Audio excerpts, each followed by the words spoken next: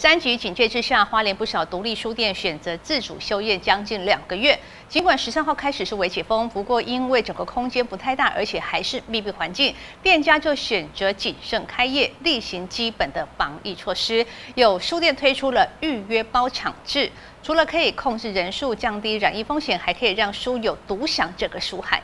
尽管独立书店并非三级警戒管制不能营业的场所，但多数还是选择休业。而十三日起，全台微解封，花莲不少独立书店也以为开店的方式重新开张。今年二月，乔迁明里路的还好书屋就推出这间书店我包了预约制，以每组至多四人、限两小时的预约包场方式为开店。家长的那个情绪就很明显，就是大家也会想说，就是想要带孩子出来，但是又担心说就是人多，所以我们就想，那我们就用一个包场预约的方式。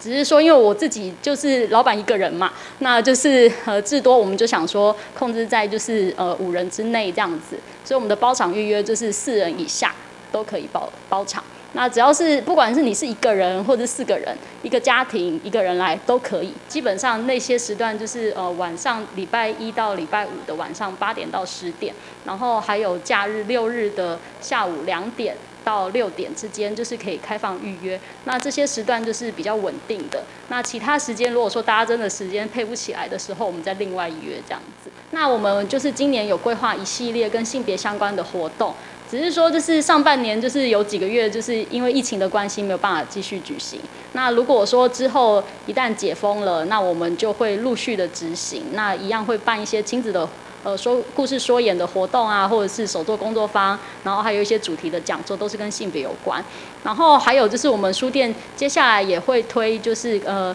野望的影展这样子。那之后就是如果有相关的讯息会发布在我们的粉砖上面。那也有一些不定期跟出版社举办的一些小型的书展，那都欢迎大家到书店来看看。或者是其实我们也有在呃疫情的期间也有尝试跟部落大学合作办了。呃，两场就是海洋教育的一个线上的讲座。另外，像临近花莲车站的甲虫与老鹰书具也推出预约制，只为你开的小书店，一日最多开放三人使用。在疫情的时间，就是休养了两个多月，然后之后有会有一个活动叫做“只为你开的小书店”，以后又是在每个礼拜四到礼拜日的下午三点到晚上七点的时候。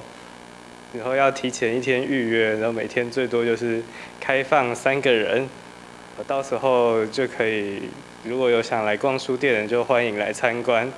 等确定完全解封之后，也会有一些实体的活动，那到时候会在粉丝专业跟大家宣布。降低染疫风险，减少人群聚集，欢迎大小朋友预约独享一个人的宁静书海。更多详情及后续书店活动，可搜寻脸书还好书屋甲虫与老鹰书具粉丝页。